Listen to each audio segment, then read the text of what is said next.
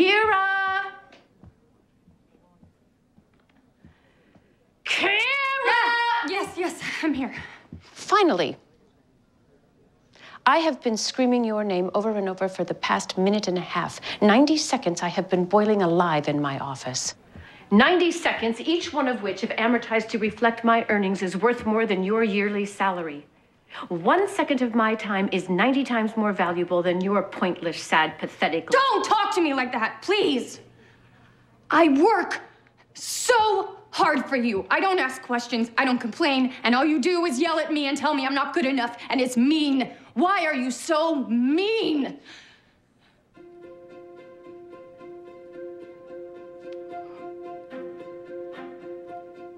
Oh my god. I'm so sorry. I I didn't I didn't mean that. I I, I don't know what happened. I just snapped. I don't Forward the phones.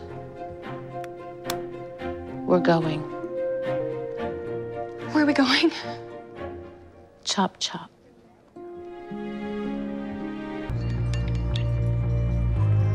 Mm. Here's the thing, Kira. Everybody gets angry. Everybody.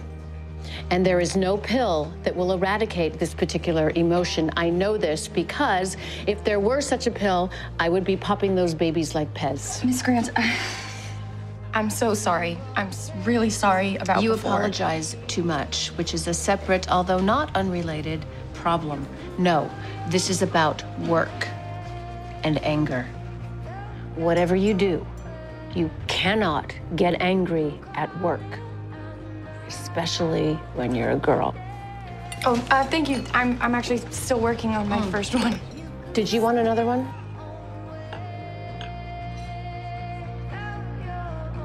When I was working with the Daily Planet, Perry White picked up a chair and he threw it out of the window because somebody missed a deadline. And no, he did not open the window first.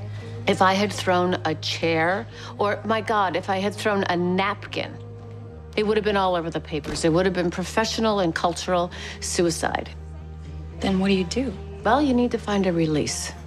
You need to take up some boxing or start screaming at your housekeeper. But the real key, Kira, is that you need to figure out what's really bothering you. For example, I am so furious with my mother, so I took it out on you, and you're so mad at me. But the and this is the important bit. You weren't really mad at me.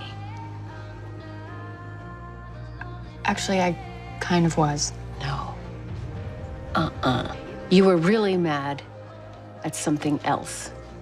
And you need to find, find that anger behind the anger.